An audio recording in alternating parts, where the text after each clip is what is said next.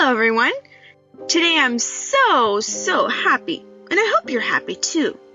You know, kids, you can easily become very happy just by thinking about nice things. Like your favorite food, a nice holiday gathering, or even by remembering someone who loves you very much. But you know what? You can also become quite sad if you think about sad things. So try not to do that. It's so much better to think about happy thoughts. One of the hardest things we will ever experience in our lives is loss. We may lose a pet, or someone we love, or the chance to do something. We may even feel loss for something we've never been able to have before. These losses cause feelings of intense sadness over a period of time. We call this feeling sorrow. One woman in the Bible who experienced sorrow was Hannah, the mother of Samuel. For many years, she carried a lot of grief and despair because of a family problem that she had to face every day. Let's hear what she has to say about her experience. Hi, kids. My name is Hannah, which means full of grace. I am so happy now because God has answered my prayers. But it wasn't always like this. Many years ago, my husband Elkanah and I were so sad because we couldn't have children. You know, the people in Israel think that it's a punishment from God if you can't have children. That's why many men marry a second wife, just like what Abraham and Sarah did. I'm ashamed to say so, but my dear husband and I repeated the same mistake. We didn't trust God enough to solve our problem for us. Nope, we tried to solve it ourselves.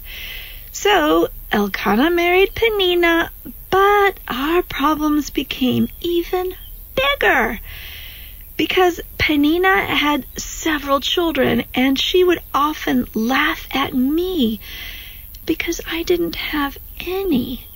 Every day she mocked me. Can you imagine? I became sadder and sadder.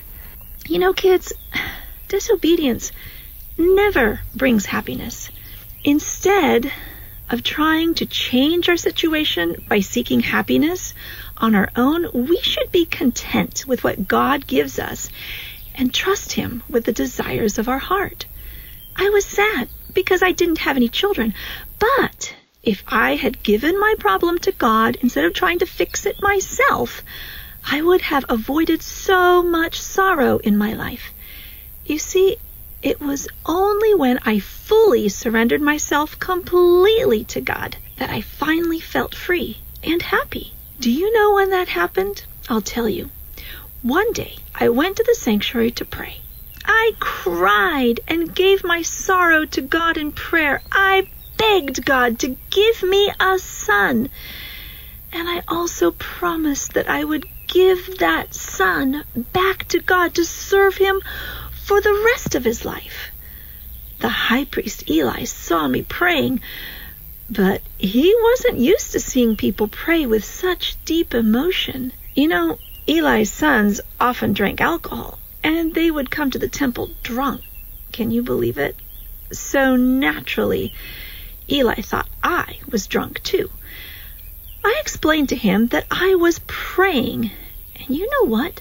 God spoke to me through him. Yes, Eli told me to go home in peace. I was so happy. I accepted God's will in my life, and I knew God would give us a son. I wasn't sad from that moment on. A year later, I had my little baby Samuel, and with him came even greater joy. All this happened after I fully trusted God. Elkanah was a descendant of Korah, a Levite from the house of Kohath, who was punished by God for rebelling against Moses and Aaron. The fact that Hannah's family was closer to the sanctuary didn't mean that she was free of problems. She too needed to trust God and give her problems to Him. Hannah was helpless in her situation, but she was not hopeless. Penina, the other wife of Elkanah, was jealous because Elkanah loved Hannah and he treated her with much love as if she had many children. Penina thought that she should be the favorite wife because she had children, so she was mean to Hannah. Penina humiliated Hannah until she couldn't take it any longer. Penina's behavior shows how someone behaves when they're not converted. She was proud, jealous, mean, and judgmental. You know, it was the fruit of the flesh. It's impossible for anyone like that to find peace and happiness. On the other hand, the life of Hannah shows the fruit of the Spirit. Hannah was a humble, loving, and patient woman. When Penina taunted Hannah, she didn't take revenge. She didn't complain or raise her voice. Instead, she took her heartache to God. God listened to her and gave her a son. Hannah had great faith, and after receiving the happy answer to her prayer, she fulfilled her promise and gave that happiness back to God. When Samuel was old enough, Hannah brought him to the sanctuary to be educated and raised in the temple. In time, he became one of the greatest prophets and judges that the people of Israel ever had. The name Samuel means God listens or listen to God. And in his name and life, there's a great parallel to Jesus. Both Jesus and Samuel were born through the providence of God. They were both dedicated to God before they were born. Samuel was a priest prophet, and judge who interceded for the people of Israel. In the same way, Jesus, a prophet, judge, and high priest, is now interceding and judging God's people in the heavenly sanctuary. Both Samuel and Jesus were chosen directly by God without being descendants of Aaron. So kids, if you're sad about something that happened or if you're facing a lot of stress because of problems at home, remember that you can talk to God and that He will listen to you. The best thing that you can do is give your problems to God in prayer.